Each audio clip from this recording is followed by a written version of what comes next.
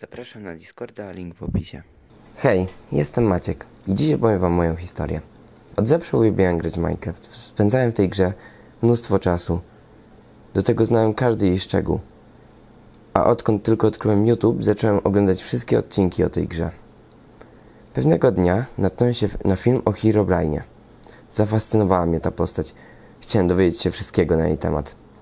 Spędziłem godziny analizując wszystkie dowody na jego istnienie. Oraz po kilka razy przeczytałem każdy plik gry. Po kilku dniach nieustannych poszukiwań odkryłem, że istnieje specjalny seed, na którym można go spotkać.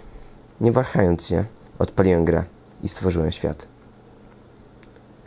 Od razu było widać, że coś jest inaczej. Otaczała mnie jakaś dziwna mgła i panowała straszna atmosfera.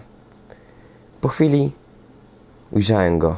Trochę się bałem, a jednocześnie cieszyłem. Bo po tak długich poszukiwaniach wreszcie go odnalazłem. Wtedy mój komputer oszalał. Światło w pokoju zaczęło mrugać. Nagle z komputera zaczęło coś wychodzić. Był to Herobrine. Szybko schowałem się pod łóżko, a on zaczął wędrować po moim pokoju. Nie wiedziałem co zrobić, moje serce biło jak szalone. Nagle zaczął się schylać i znalazł mnie. Myślałem, że to mój koniec. Błagałem go o litość. Cały zalałem się łzami. A on tylko spytał, kim ja jestem i gdzie on się znajduje. Potem zaczęliśmy rozmawiać. W ten oto sposób okazało się, że nie, jest on spoko osobą. Kiedyś był normalnym człowiekiem, ale pewnego dnia w jego dom uderzył meteoryt i utknął w grze. A teraz, dzięki mnie, znowu jest wolny.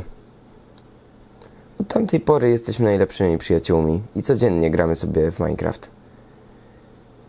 Mam nadzieję, że wy też macie takich fajnych przyjaciół, jakim dla mnie jest Herobrine.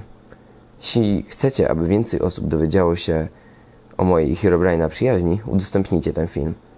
A jeśli chcecie opowiedzieć swoją historię, wyślijcie ją na tego maila lub Discorda.